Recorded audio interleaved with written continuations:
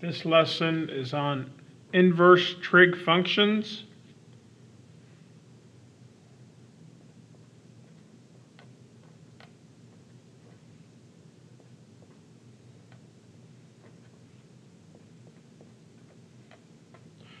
Some parts of this material can be a little confusing at first, but hopefully we can try and make it clear, and once you begin to practice and think about it, you'll begin to understand it. Let me first go back and review something we've actually already done, and that's solving trig equations. Hopefully when I do this, this will seem very simple because we've already covered this. Say, for instance, you were given equation cosine of theta equals square root of 2 over 2, and you're asked to solve this for theta. So once again, trying to solve an equation, trying to find value for theta. Of course, this is going to be an angle. Trying to find the angle that when you take the cosine, it's square root of 2 over 2. And let's just say for now, we'll just limit our answers to 0 to 2 pi, or one trip around the unit circle. So you think of the unit circle, and you ask yourself, for what angles is the cosine square root of 2 over 2? And then you realize right here, pi over 4. And then these are both negative, so when you get to quadrant 4, you're at 7 pi over 4. So, it's actually two solutions. The angle pi over 4 and 7 pi over 4. And let's just do a sine. How about we're asked to solve the equation? Sine of theta equals 1 half. Once again, we're looking for an angle, or even more than one angle. We'll limit ourselves to 0 to 2 pi. So you ask yourself, okay, let's go find an angle, or angles, where the sine is negative 1 half.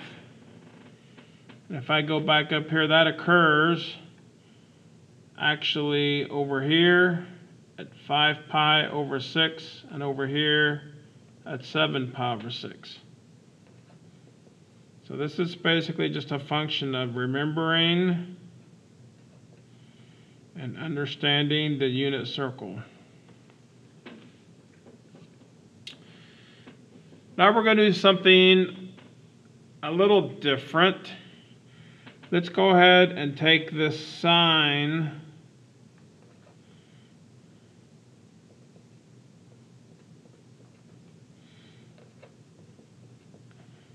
And we're going to try and solve this again, except the difference is we're going to use a different method, and we're going to use an inverse trig function.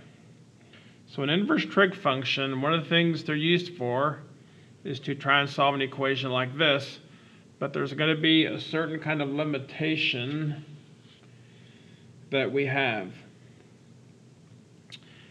Now before we do that, let me take a, just a brief detour and just talk about a principle in math that you've used before, and I want to remind you of it because we're going to use the same principle when we start explaining how inverse trig functions work. Think back to where maybe you had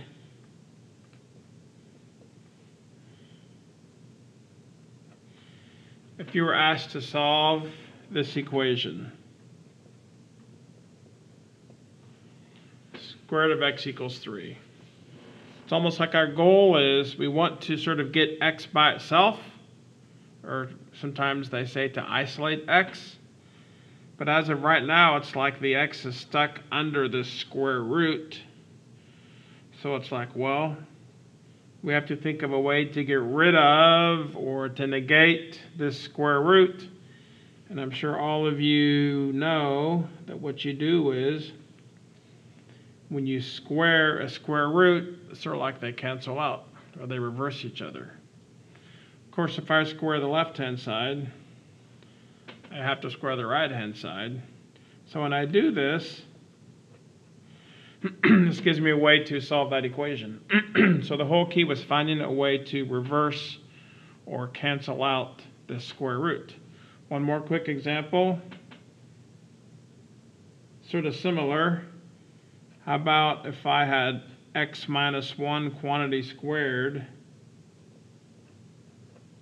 equals 16. I was trying to solve this equation. So here, it's almost like the x is inside the parentheses and it gets squared. I guess you could maybe FOIL this out, but I don't want to do that. There's an easier way to do it. So when you have something squared, I really want to get rid of this exponent, this square. And I'm sure you all remember that in this case, if you take the square root of something squared, those cancel out or negate or reverse each other. Of course, I have to do the same thing to both sides. So in this case, I'd have x minus 1 equals, you take square of a number, you have to have both the positive and the negative. So really, my solution is x equals 1 plus or minus 4. So for this problem, there are actually two solutions. But the key is, I want you to realize that I started out having this parenthesis squared, and the way I negated or canceled it was to take the square root. Well, that's sort of the idea now that we're going to use for these inverse trig functions. The problem we started a minute ago was the sine of theta equals negative 1 half. We want to solve for theta. First of all, there are two ways to write. In this case, I'm going to do the inverse sine function. It's written two ways. You write the sine, but then you stick like a negative 1 up here. It looks like an exponent. It's not an exponent. This doesn't mean sine to the negative first power. This is just a way to write inverse trig functions. It's just notation has nothing to do with an exponent of minus 1.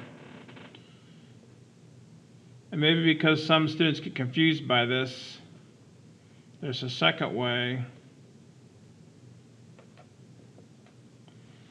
They write inverse trig functions, and it's this word arc, arc sine. So those are inverse sine functions, of course, we have the other trig function, so we can have inverse cosine, or you might see arc cosine, or inverse tangent, or arc tangent. All right, so now finally, I keep starting to solve this equation, and I keep getting distracted. So now here we are. what an inverse trig function can do, or in this case an inverse sine function, an inverse sine function is like the opposite of the sine function. It's almost like squaring a square root. They sort of negate each other. So what I'm going to do is, to solve this equation, I really want to get theta by itself and like right now it's stuck sort of inside the trig function. You know, theta is an angle. I want to get it by itself. I can do that if I take the inverse sine, because the inverse sine of the sine, those things sort of cancel out. And now you're just left with theta, the thing we're trying to solve for. So in a sense, this is almost like a mathematical algebra way to solve for this angle theta. When we did this before, right here, we just sort of in our heads did what we know common sense says to do. We were able to, I guess up here, we were able to just think about it and realize that the answer solution has to be 5 pi over 6, 7 pi over 6. Well, here, we're sort of doing it more like an algebra, like actually solving an equation.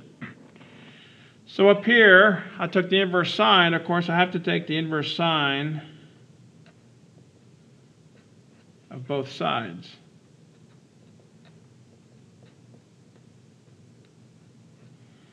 So I've solved for theta, and theta is now the inverse sine of negative 1 half. Now, in words, when you have something like this, first of all, as we're beginning to work with these inverse trig functions, whenever you have an inverse trig function, always just say to yourself that this whole thing has to equal an angle. And it makes sense here because we're saying theta is this. But later on, you're just going to be going to be given some inverse trig functions and if you start to get a little confused, just say to yourself, wait a second, an inverse trig function is always an angle. Now, in terms of words, what we say is, for what angle will the sine equal negative 1 half. It's the same question we ask when we solved it this way. We ask ourselves, let's go find an angle where the sine is negative 1 half. Same question here. But now here's the big difference. And I'm not going to take the time to explain it. It has to do with the definition of functions and one-to-one functions and just some rules about math. But what's going to happen is for this inverse trig function, I'm looking for an angle here, but when I actually use the inverse sine, my possible answers are limited. In this case, the answer is an angle, and because I'm going to use the inverse sine, just the way this is in the math world, my only my solution has to be between negative pi over 2 and pi over 2. Let's think about that. We don't work with negative angles a lot. If we go back to our unit circle, we know pi over 2 is here. Negative pi over 2 is down here. As a positive angle, you can think of negative pi over 2 as 3 pi over 2. But for this inverse sine function, they like to use negative pi over 2. So basically, I'm looking for an angle, and it's going to have to come from someplace over here. So what I do is I say, okay, that's fine. Let me go find an angle over here where the sine is negative 1 half. Now this is going to be one of our special angles, and it's negative 1 half is actually, let me do it again.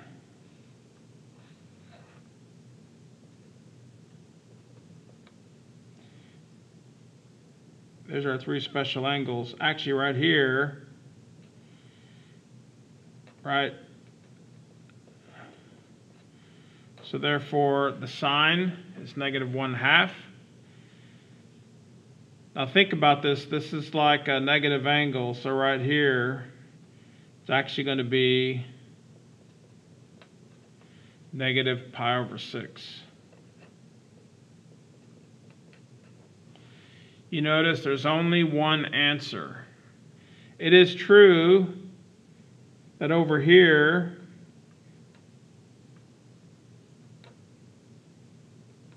The sine is also negative 1 half.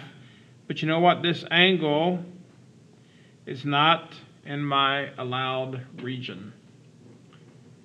So that's one of the big keys for inverse trig functions. There's a limitation of where your angle can be. Let's just another. How about if you were asked to find the inverse sine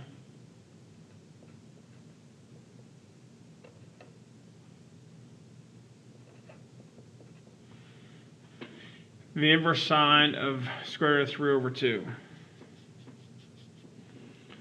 So what you do is, once again, you go to the circle and you go looking for an angle where the sine is square root of 3 over 2. But you've got to make sure the only possible answers have to be between negative pi over 2 and pi over 2. So you say, where, what's the angle where the sine is square root 3 over 2? And you realize it's right here, which is pi over 3.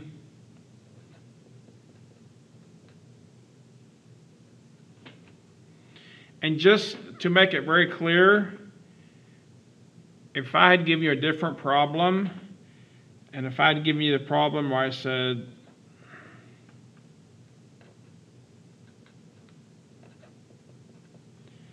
Here's the sine of theta square root 3 over 2.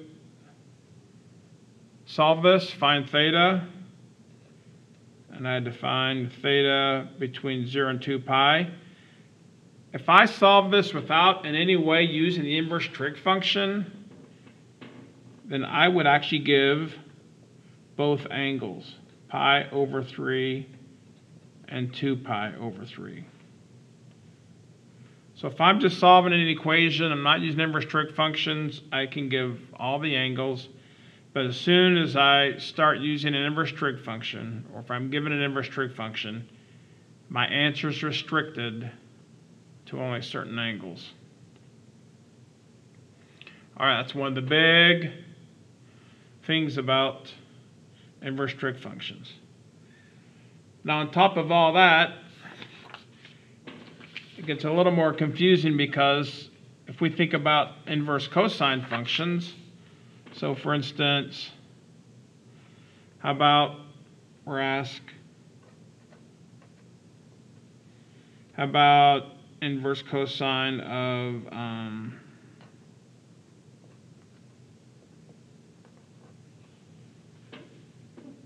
basically we're trying to find inverse cosine of square root of 2 over 2. That's because inverse cosine, it's going to be restricted. But what's interesting, for both inverse sine and inverse tangent, when you're finding those angles, the angles have to be between negative pi over 2 and pi over 2, sort of like the right half of the unit circle. But with inverse trig functions, just to make life more interesting, for inverse cosine, you know what the range of possible answers are, angles?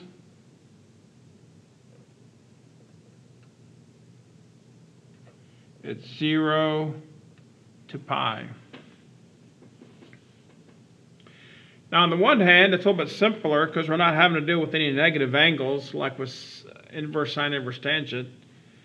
But just the strange thing is that these are not the same. Inverse sine, inverse tangent, the possible angles are negative pi over 2 to pi over 2.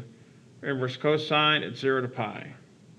So with that in mind, I go back up here and I ask myself, okay, let's go find an angle somewhere between 0 and pi that when you take the cosine, it's square root of 2 over 2 If you think back to unit circle,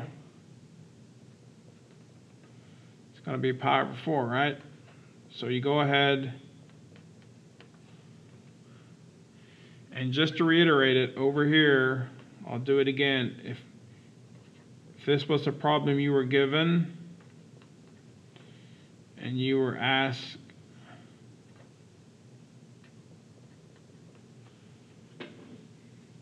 To solve this, all angles between 0 and 2 pi, because I'm not going to use any kind of inverse cosine function, I would say pi over 4, 7 pi over 4.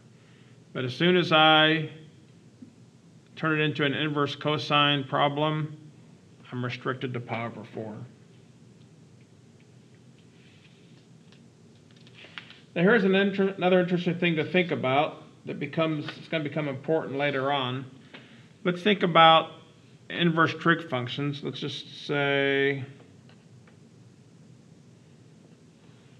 um, for now, let me just call this x.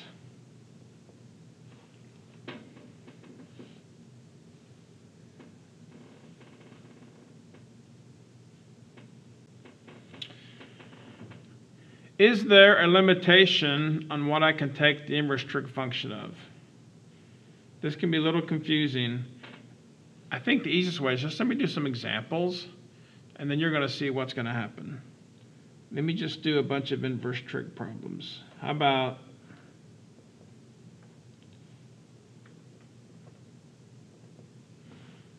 what is the inverse sine of 1 half? Okay, once again, inverse trig function, this thing is going to be an angle. So for what angle is the inverse sine 1 half? And of course I have my restriction, negative pi over 2 and pi over 2. And in this case, it's pi over 6.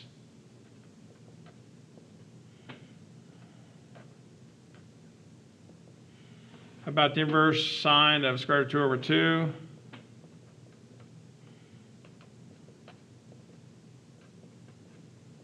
How about the inverse sine of negative 1? Okay, so I'm asking myself. Need to go find an angle that when I take the sine of it, it's going to be negative 1. So if you think up here at the unit circle, where's the sine negative 1? Right here. What is that? That's negative pi over 2. Now, just for fun, what if I said,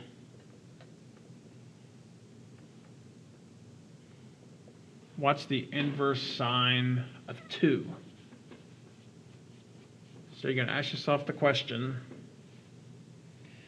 let's go find an angle that when I take the sine, it's going to equal 2. Now, hopefully, maybe you're a little confused because when you think about the unit circle, and of course, in this case, it's just half the unit circle. This is pi over 2. This is negative pi over 2. The angle, this is 0. But what is this actual? We know the sine of this angle, there's the x and there's the y and down here. So we know the maximum value of the sine is 1. Right? Sine of 0 is 0. Sine of pi over 2, this is the, the highest we ever get on the unit circle. So we know the sine pi over 2 equals 1. And the lowest we get is down here, the sine of negative pi over 2 is negative 1. Now back to our problem, we're saying let's go find an angle where the sine is 2. Well, you know what? The sine is never 2. The sine goes from negative 1 to 1. It's no solution.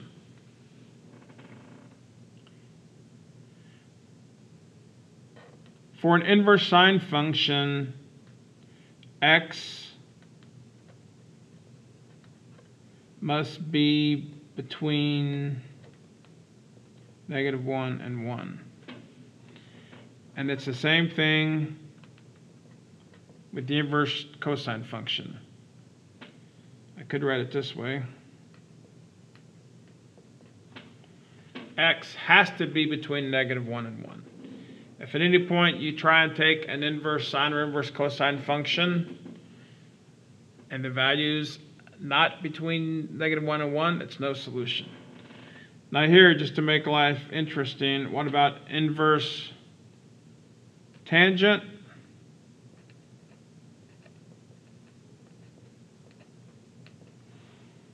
Actually, inverse tangent, x can be anything. Just to make life interesting. So, let me just quickly, just to reinforce this, let's just do a few more inverse trig problems.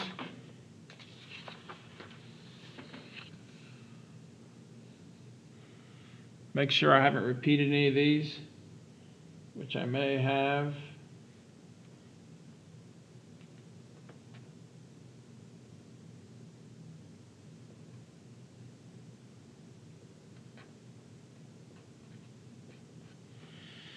Inverse sine function of negative square root of 3 over 2.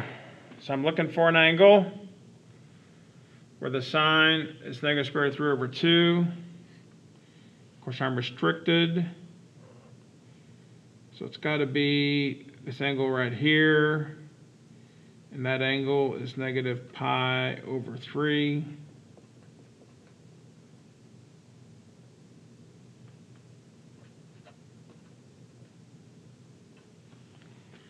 About the inverse cosine of 1? So my unit circle over here is just the top half.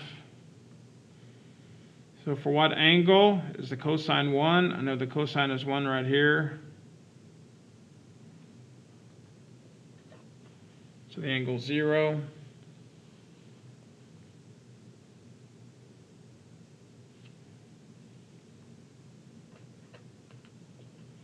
About the inverse cosine of negative square root of 3 over 2?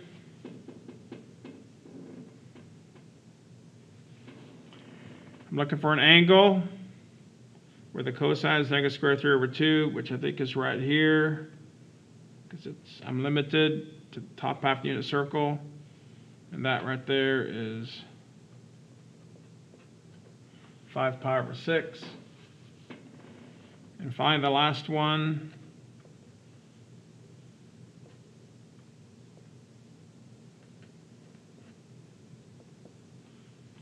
Let's find the inverse sine function of negative 3 halves. So here's my sine up here. So I say, okay, let's go find an angle where the sine is negative 3 halves, or like negative 1.5. And then you realize the sine down here is negative 1, and you realize there's no angle where the sine is negative 3 halves, so negative 1.5. So this is one where, remember, this has to be between negative 1 to 1. This is outside this range here. So we just say there's no solution. All right, so that's inverse trig functions. Now we'll do another video on some other aspects of inverse trig functions.